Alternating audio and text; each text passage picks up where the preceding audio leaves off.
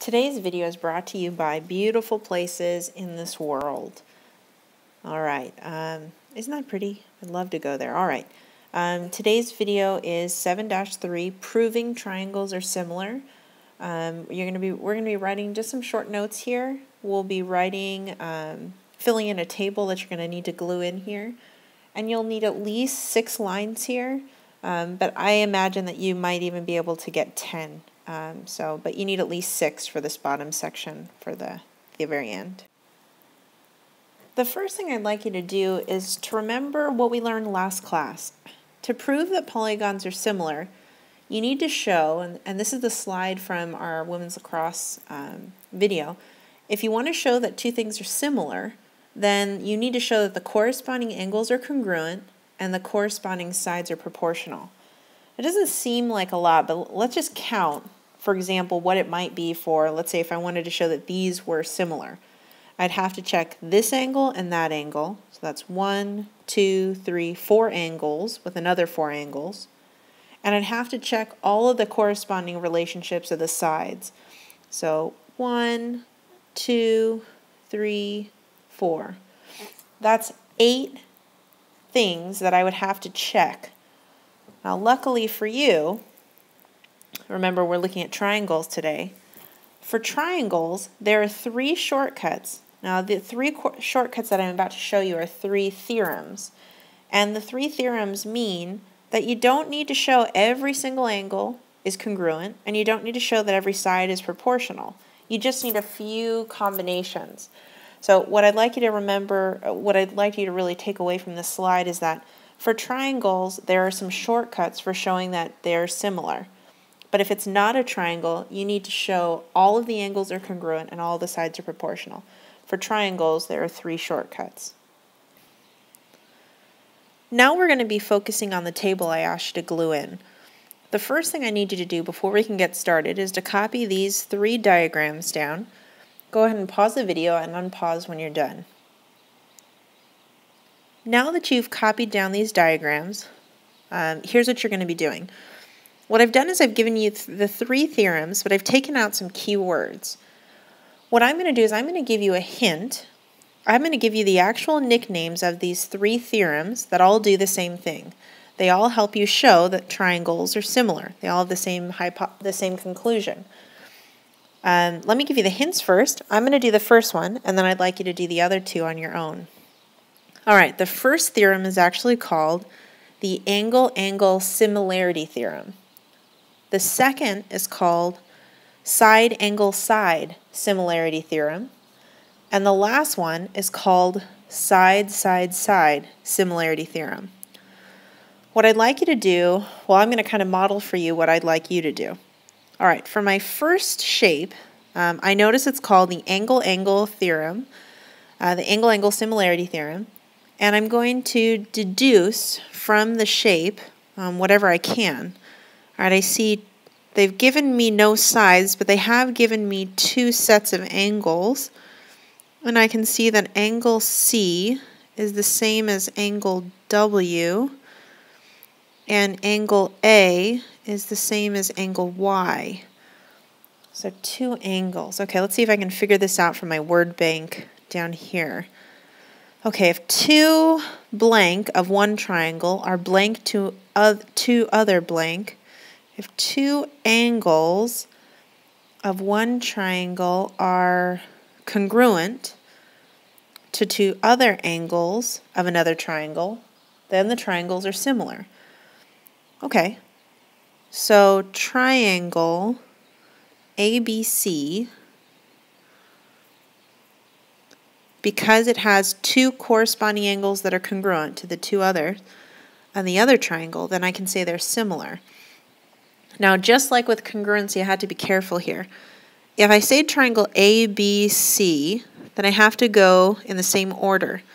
This is the single hash mark, so I'm going to start at A, go to the angle with no mark to 47. So that means I'll start at Y, move to X, and finish at W. What I'd like you to do now is pause and try out these bottom ones. First, you'll see what you notice from the picture. and see if you can find those missing words. And lastly, write the similarity statement. Go ahead and pause the video and unpause when you're ready to move on. In the second one, I noticed that angle M is congruent to angle R. And I also noticed that the corresponding sides on the outside, 12 corresponds to 8, and 9 corresponds to 6. I happen to notice that those two ratios are congruent. If I simplify them, I get 3 over 2 in both cases. That means the sides are proportional. Okay, so I know that one angle is congruent and two sides are proportional. So what's the theorem? If a blank of one triangle is blank to an angle of a second triangle, okay, wait, if an angle of one triangle is congruent to an angle of a second triangle, and the sides that include those two angles are, let's see, they were proportional, are proportional, then the triangles are similar. Perfect. Okay, so let's name those triangles. Triangle MNO. All right, let's find that order. I'm starting at the angle that's congruent, going to N, and then O. MN corresponds to RQ. So I'll go RQP. Triangle RQP. All right. Last but not least, for my last one, I know it's called side, side, side similarity, and they happen to only give me sides here. And I notice 1, 2, 3 are the measurements of the sides, 15, 5, and 10. Hmm.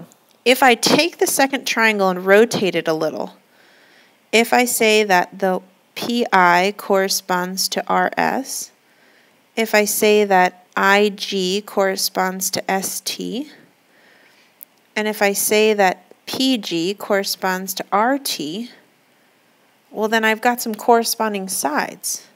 1 to 5, 2 to 10, and 3 to 15. Those three are all proportional. They're all equal to 1 fifth. That means that the sides, if the sides, if the, oops, move this, if the, uh-oh, there we go. If the corresponding sides of two triangles are proportional, then the triangles are similar. So the correspond you have to find the corresponding sides. All right, let's name it triangle PIG, triangle pig. All right, now PI is similar to RS and then T. All right, we're going to actually use these three theorems now um, but I want you to remember the key thing I want you to see here is that these are not congruency theorems, they're similarity theorems. Isn't that pretty? Yeah, I'd love to go there. Wow. Anyway. All right, now in the very bottom section underneath the table, we're going to ask two questions. This is A, there'll be another one B.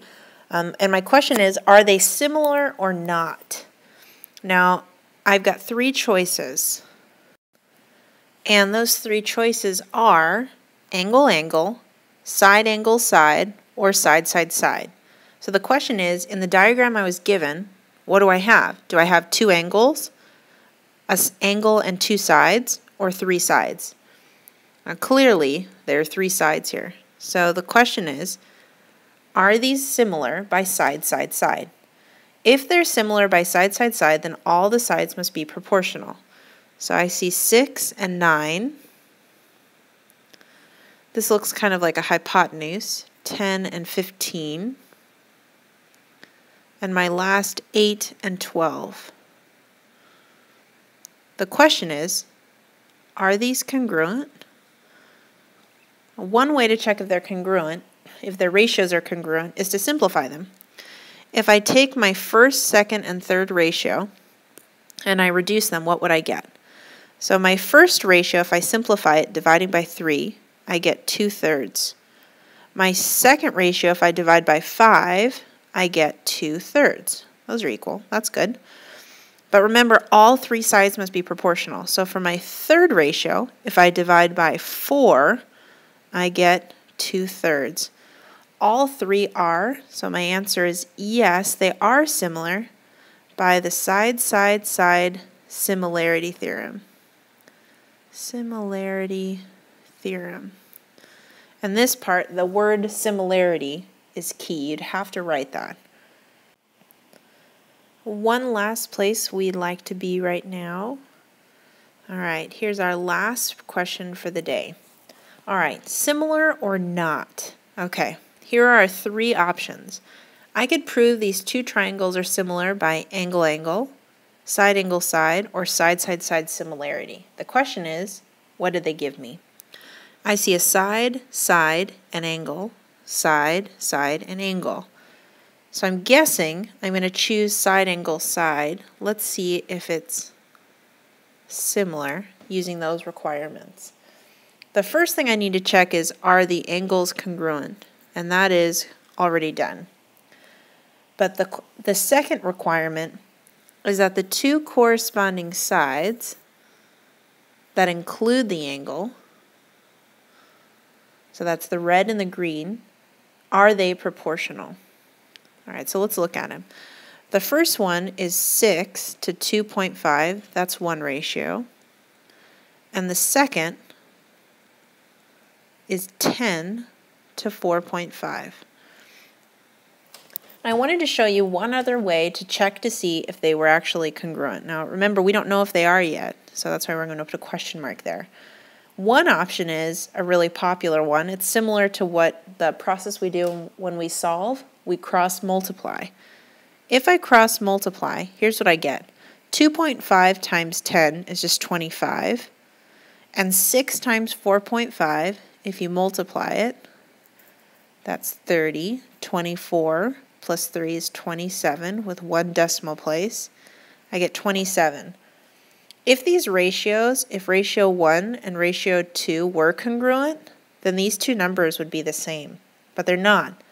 That means that the two sides are not proportional. So my answer is no, because the sides are not proportional.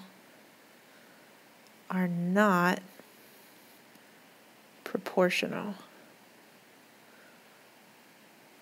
All right, that's it.